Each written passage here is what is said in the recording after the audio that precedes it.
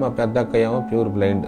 మా రెండో sister pure physical handicapped. రెండు కాళ్ళు చేతులు చచ్చిపడిపోయినాయి పోలియో వల్ల.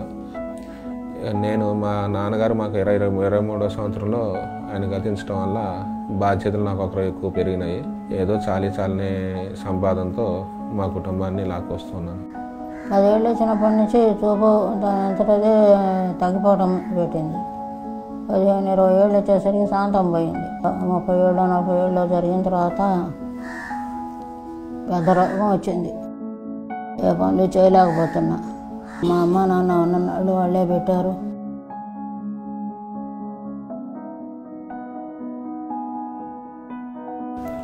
ఐదేళ్ళ పిల్లప్పుడు తడపరిపోసి కాళ్ళు పట్టుకుపోయినాయి వాళ్ళు ఎవరు ఆపరేషన్ ఏమిటో చేయించారు. ఏదో ఒక సట్టట్ట నడుస్తున్నా. పదేళ్ళు వచ్చా కాళ్ళు చేతులు రెండూ పడిపోయాయి. ఇక్కడ ఏదో వాళ్ళు వీళ్ళు దయదలిచి పెన్షన్ ఏర్పాటు చేశారు.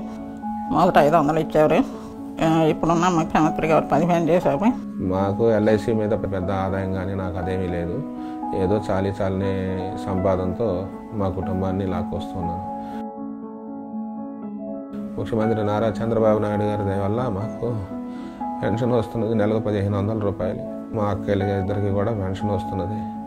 ఆ దయ వల్ల ఏదో ఒక రూపా మనుషుల్లాగా బ్రతుకుతున్నాం. చంద్రబాబు నాయుడు గారికి నమస్కారాలు. వారిచ్చే పెన్షన్ తోటి ఏదో కాస్త మందు మాకు వాడుకుంటున్నాను.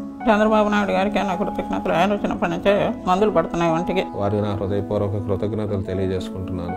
జై చంద్రబాబు నాయుడు జై జై చంద్రబాబు నాయుడు.